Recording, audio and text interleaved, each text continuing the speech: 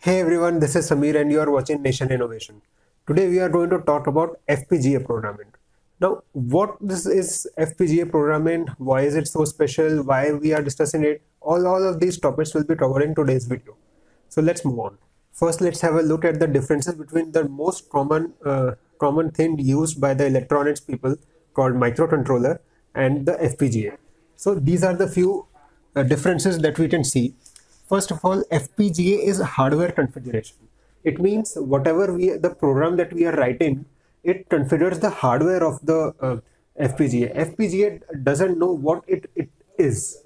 Uh, FPGA is totally blank hardware. We have to configure the hardware the, to behave it in certain way. That's why it is called hardware configuration. Whereas microcontroller like Arduino or 8051 or uh, ARM both all of them have a predefined hardware. The only thing that we have to do is configure the software. It means we have to program it. You have to uh, tell tell it what it has to do. It knows how to do but we have to tell him what to do. All right? Second thing is fpgas are configured uh, whereas micro microcontrollers are programmed as i explained right now. The third thing is we can compare FPGA with respect to microcontroller as a newborn child and an employee. Like a newborn child, it uh, a newborn child doesn't know what what it is, what uh, what it has to do. Everything we have to tell it.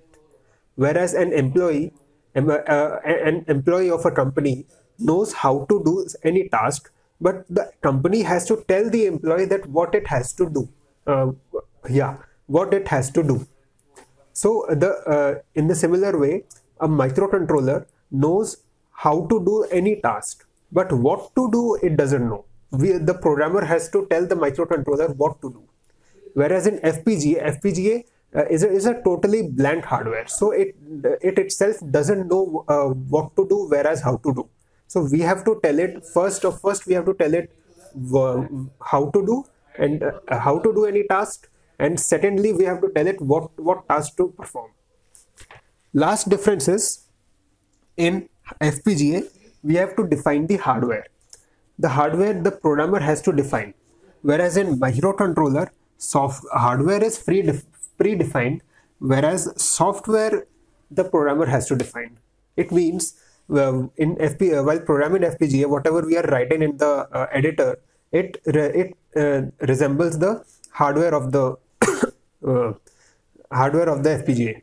Whereas in um, uh, whereas in microcontroller, the hardware is predefined. The, this is this is only the main difference. In FPGA, the hardware is not defined. We have to define the hardware. Whereas in uh, microcontroller, hardware is predefined. We just have to define the software. This is the basic difference between FPGA and C, uh, FPGA and microcontroller. Now let's have a look at some of the components required for programming our FPGA. So these are the components required. First of all is the FPGA development. In order to uh, in order to program any sort of device, first of all we need a development board or uh, uh, an emulator. So uh, in FPGA we have a we have various sorts of FPGA development boards. Earlier F the FPGA development boards used to be very expensive, but these days uh, as the days keep on going, the costs are continuously reducing. For example, I recently bought an FPGA board for just 1200 bucks Second is a programmer. In the, for example, in Arduino, Arduino has an inbuilt programmer uh, in, in itself, but FPGA is a blank hardware, so it doesn't have any uh, any programmer or any sort of thing built in, inside itself. There are some boards, some expensive boards available in the market which have uh, programmers inside inside the board itself. They are usually called USB blaster programmer, but uh, in uh, the cheaper versions of the boards, we have to use an external programmer. It comes for around um, uh, 200 to 300 rupees. And uh, I, I, recently bought one of them I, as I'm using Cyclone family FPGA, which is uh, driven by uh, Altera. so I have to use this USB blaster programmer. Then the third thing that we have to use is a 5 volt power supply. Now, most of the FPGAs in on contrary to the uh, microcontrollers, most of the microcontrollers uh, these days use uh, 5 volt power supply. Uh, the, all the GPIOs use 5 volt are 5 volt uh, compatible, but the FPGAs are 3 volt compatible. So in order to interface them with another hardware, we have to use a 5 volt power supply. So these are the three components that, that we will require. Now let's have a look at the components itself. So these are the components required to program the FPGA. In the center, there is a Cyclone 2 family FPGA development board. You can see it is a really simple board with just headers. Uh, let's have a closer look at the board. This center is the FPGA, uh, the main FPGA. There are two headers. This this header uh, is for uh, uh JTAG interface, and this one is for active serial interface. As we saw, FPGA uh, don't FPGA are, are totally uh, hardware based it means it doesn't know what to do. The hardware the programmer has to configure.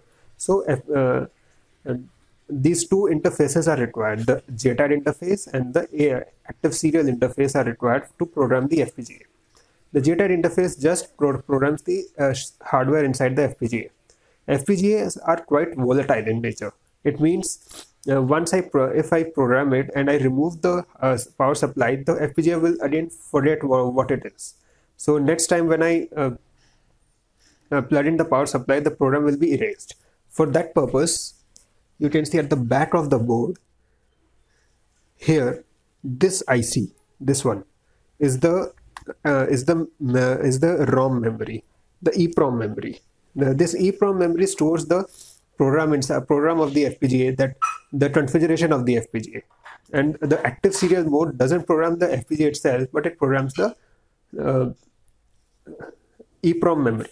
So next time, uh, so whenever we program the EEPROM memory and and we remove the power supply, next time whenever power of power supply is given, the EEPROM memory will uh, program the FPGA, uh, will configure the FPGA with the data stored in itself.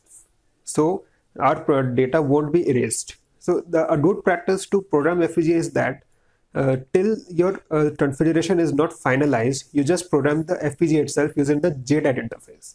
Once your uh, program is finalized, you can go to the uh, active serial interface and program uh, and, and upload the program in the EEPROM memory.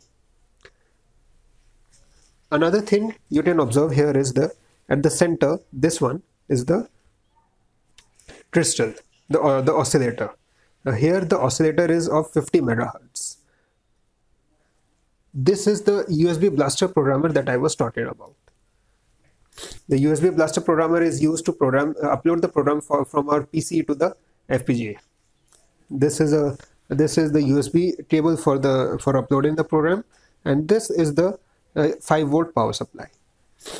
So now let's move on to the uh, software the software environment required to program the FPGA before moving on to the software environment we have to see a few details regarding the board that we are using.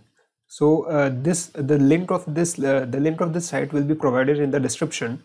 So uh, here you can see this is the board that we are using. Here uh, this is the, at the lower side you can see the 5 volt power input. These two JTAG, headers and the active serial headers and these uh, on the all four sides of the FPGA you can see the GPIOs one thing we have to see here that these three are the LEDs and this is a push button which is attached to the FPGA.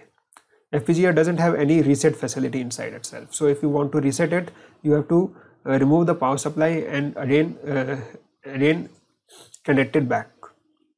Let's uh, let's see to what pin numbers these three LEDs are connected because as we are uh, dealing with the LED blended program and we are blending the onboard LEDs, so uh, we have to see to which pins these LEDs are connected. These are uh, written at the, uh, here you can see some features of the board like the EP2C5 is the uh, family of the FPGA that, that is connected in this board. Here 5 volt DC power supply is used. The These are the three LEDs are there on the board and one button is also there. A 50 megahertz crystal is, a clock crystal is also connected. Uh, the, here you can see this is the JTAG interface and this is the active serial interface. Now here you can see at the pin number 3 the 7 and 9 these LEDs are connected and at pin number 144 this push button is connected and at pin number 17 the 50 megahertz clock input is connected. So now uh, these these are the details that we will be needing the uh, in this project. the details of uh, this uh, this link will be provided in the description itself. So you can have a look at uh, all the details if you desire from here. This is the software environment that we will be using. This is called Quartus it is provided by Altera as we are using the Altera based FPGA Further, if you are using Xilinx based FPGAs, you have to use their software, which is called, one software is called Xilinx Vivado and the other one is called Xilinx ISE. Here, this program is almost similar to the C program that we, were, we are used to writing. Here you can see this module. The main function is replaced by this module, module keyword and end module also is there. In C language, we, we were using the uh, curly braces instead of curly braces here we are using begin and end statement. So here uh, the this this program is for the uh, blending the LEDs one thing we have to keep in mind that the uh, name of the main module the module the main module inside any program should be same as the uh, name of the uh, this uh, project itself.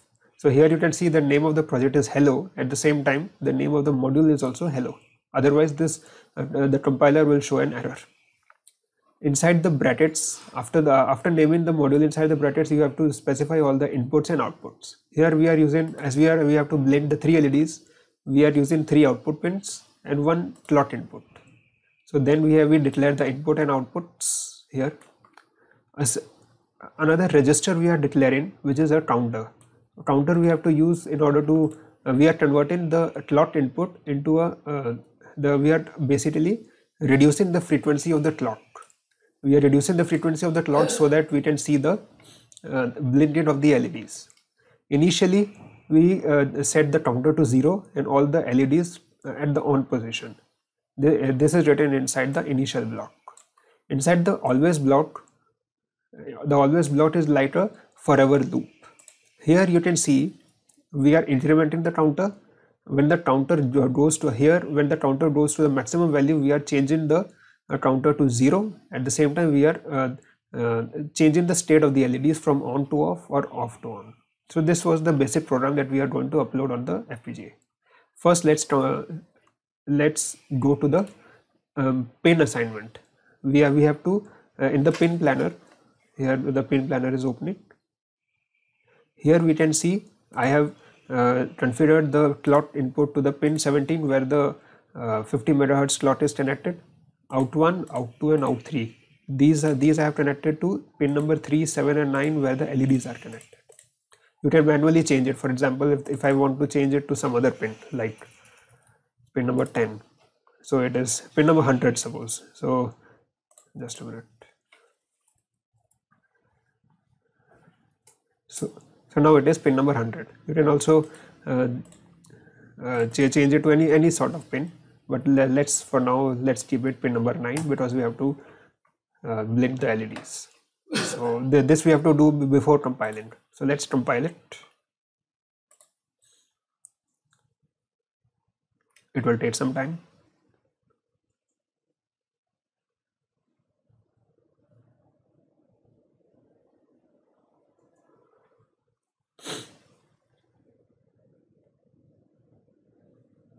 yeah the compilation has started.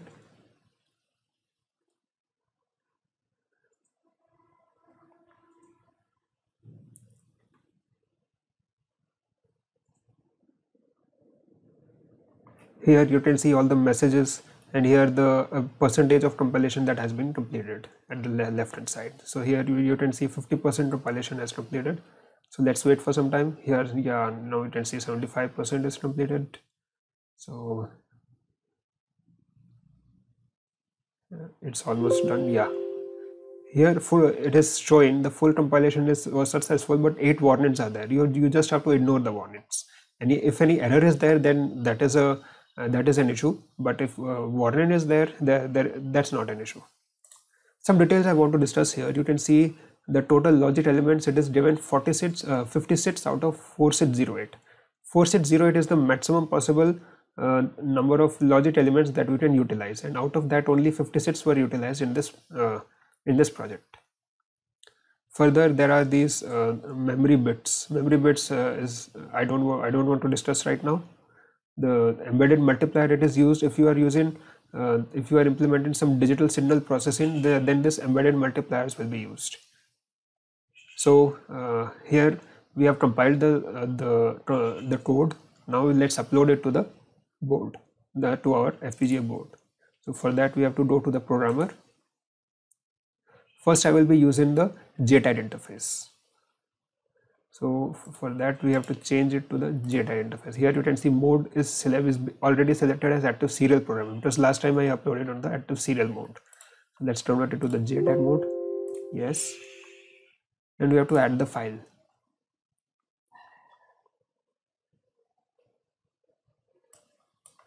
for adding the file go to the output files folder and select the .sof file. .sof file you have to select if you are using the JTAG interface and .pof file you have to select if you are using the active serial interface. So for uh, interface let's select the SOF file. You can see that the device has by default been selected here. This is the checksum of our code, this is the user code and everything. And now we have to select the hardware. Hardware as I said it is the USB blaster. So this USB blaster we have to select from here. So now it, it is being displayed here USB blaster. And let's uh, uh, program slash configure and let's verify it also. Sorry it is not okay. Uh, in this version of the Quartus this verify option is not available for the JTAG interface. Okay. So let's uh, start the programmer so here on the right hand side you can see the programmer is successful 100% uh, successful. And now the FPGA has been programmed. It is right now it is blinking you cannot see see it but uh, right now I've, I saw it it is blinking yeah, I will be showing it to you in, in a few moments. I've uh, see here now I have uh, configured the FPGA in the JTAG interface. But in order to um, make it permanently programmed we have to use active serial interface also. So let's program it in the active serial mode. Add file. As I said .pof file is necessary. Let's program it slash configure it now I have to connect disconnect uh, disconnect the FPGA uh, disconnect the programmer from the JTAG uh, uh, header to the active serial header. So let's do that. Let's program and configure it and yeah all, all rest everything has been by default selected let's program it.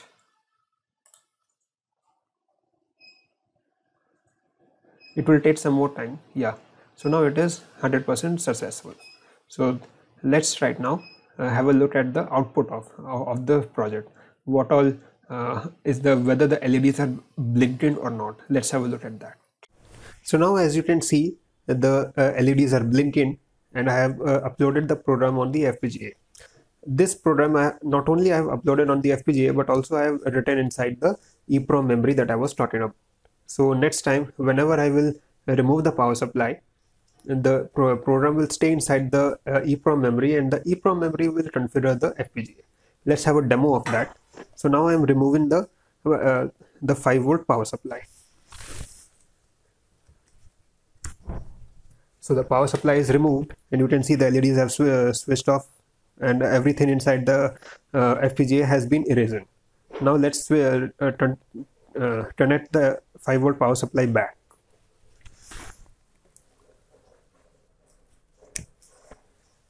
so here you can see the LEDs are still blinking it means the program has been stored inside the EEPROM memory plus uh, the EEPROM memory has now configured the FPGA to uh, these LEDs.